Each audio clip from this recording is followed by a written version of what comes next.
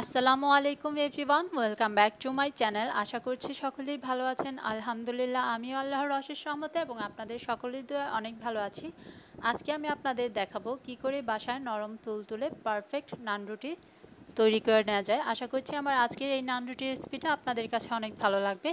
ভালো লাগলে অবশ্যই একটি লাইক দিবেন কমেন্ট বক্সে কমেন্ট করে জানাবেন এবং বেশি ভালো লাগলে আপনার ফ্যামিলি অ্যান্ড ফ্রেন্ডসদের সাথে শেয়ার করে তাদেরকে দেখারও সুযোগ করে দেবেন। আর আপনি যদি আমার চ্যানেলে নতুন হয়ে থাকেন, তাহলে অবশ্যই আমার সাইলাস ওয়ার্ল্ড চ্যানেলটি সাবস্ক্রাইব করে পাশে থাকা ছোট্ট বেল আইকনটি ক্লিক করে দেবেন।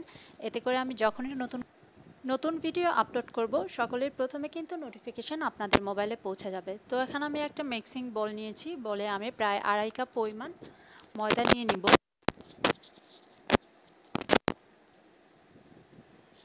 আর ময়দাগুলো কিন্তু আমি আগে থেকেই চেলে নিয়েছি।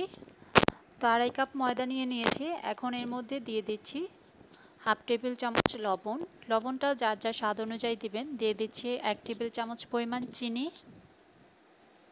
এখন দিয়ে দিচ্ছি ওয়ান ফোর্থ কাপ গুঁড়ো দুধ। দিয়ে দিচ্ছি একটা ডিম। ডিমটা অবশ্যই রুম টেম্পারেচারে থাকতে হবে। আর যদি ফ্রিজে থাকে তাহলে এক ঘণ্টা আগে ফ্রিজ থেকে নামিয়ে নেবেন। দিয়ে দিচ্ছি দেড় টেবিল চামচের মতো এস্ট।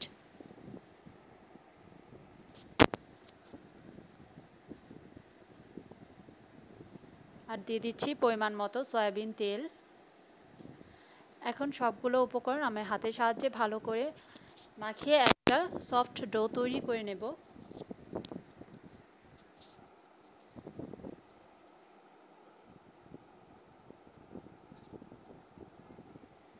তো এভাবে হাতের সাহায্যে ভালো করে মাখিয়ে নিতে হবে।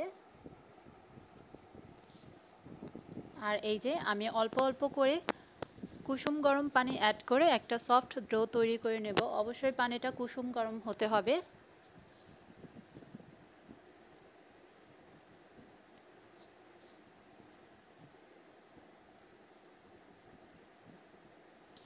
আর পানিটা একেবারেই অ্যাড করবেন না না হলে কিন্তু আপনার ডোটা বেশি নরম হয়ে যেতে পারে। অল্প অল্প অ্যাড করে ডোটা তৈরি করে নেবেন।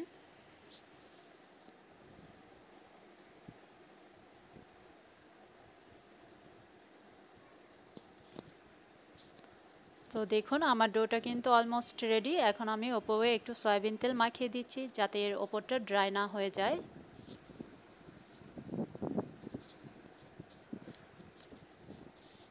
দিয়ে আমি একটা ঢাকনা দিয়ে ঢেকে এক ঘণ্টার জন্য রেস্টে রেখে দেবো।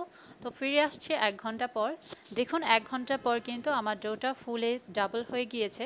এখন আমি হাতের সাহায্যে চেপে চেপে এর বাতাসগুলো বের করে দিচ্ছি।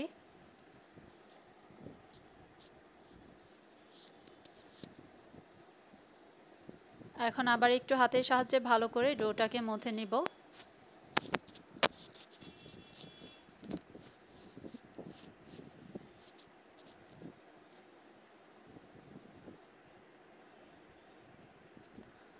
তো আমার এই ডোটা দিয়ে কিন্তু আমি ছয়টা নান রুটি করেছি। আপনারা চাইলে আর একটু পাতলা করে বেশিও করতে পারেন।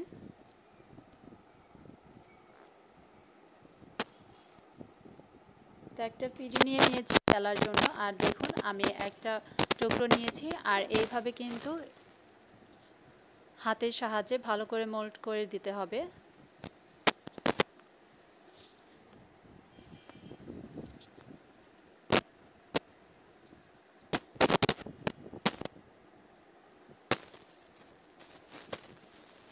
তো আমি সবগুলোই কিন্তু এইভাবে হাতের সাহায্যে শেপ দিয়ে নেব গোল শেপ।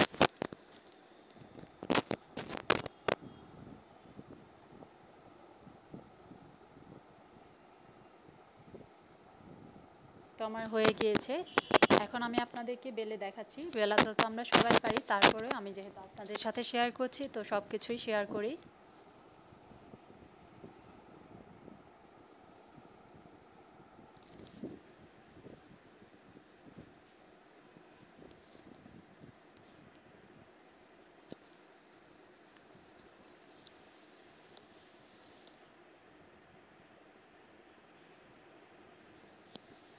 তো আমি কিন্তু এই সাইজটার করলাম। আপনারা চাইলে এর চেয়ে বড় অথবা ছোটও রাখতে পারেন।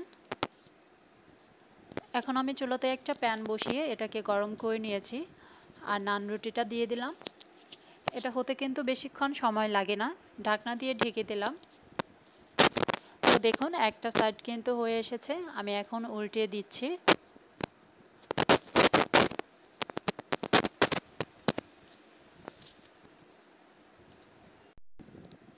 যেহেতু এখন বাহিরের অবস্থা খুবই খারাপ, আমরা ইচ্ছে করলে রেস্টুরেন্টে যেয়ে খেতে পারি না।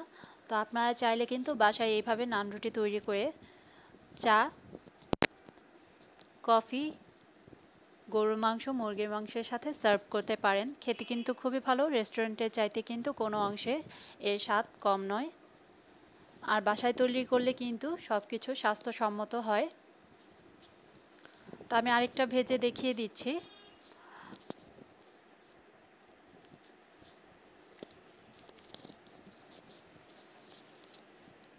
আর এটা কিন্তু খেতেও খুব ভালো ছিল। আশা করছি আমার আজকের এই নান রুটির রেসিপিটা আপনাদের কাছে ভালো লেগেছে। ভালো লাগলে অবশ্যই বাসায় ট্রাই করবেন, ট্রাই করে আমাকে জানাবেন যে কেমন হয়েছিল। সেমভাবে আমি সবগুলো রুটি ভেজে নিয়েছি। আর দেখুন, আমার এখানে চারটা আছে আর দুটো আমি কেটে নিয়েছি। আশা করছি আমার এই নান রুটির রেসিপিটা আপনাদের কাছে খুবই ভালো লেগেছে। ভালো লাগলে অবশ্যই একটি লাইক দেবেন। আর এই ধরনের রেসিপি আর সুন্দর সুন্দর ব্লগ ভিডিওগুলো পাওয়ার জন্য আমার শালাস ওয়ার্ল্ড চ্যানেলটি সাবস্ক্রাইব করে আমার চ্যানেলের পাশেই থাকবেন। দেখুন, এটা কতটা সফট হয়েছে। আমি একটু হাতের সাহায্যে দেখিয়ে দিচ্ছি। এভাবে চাপ দিলেই আপনারা বুঝতে পারবেন এটা কতটা সফট।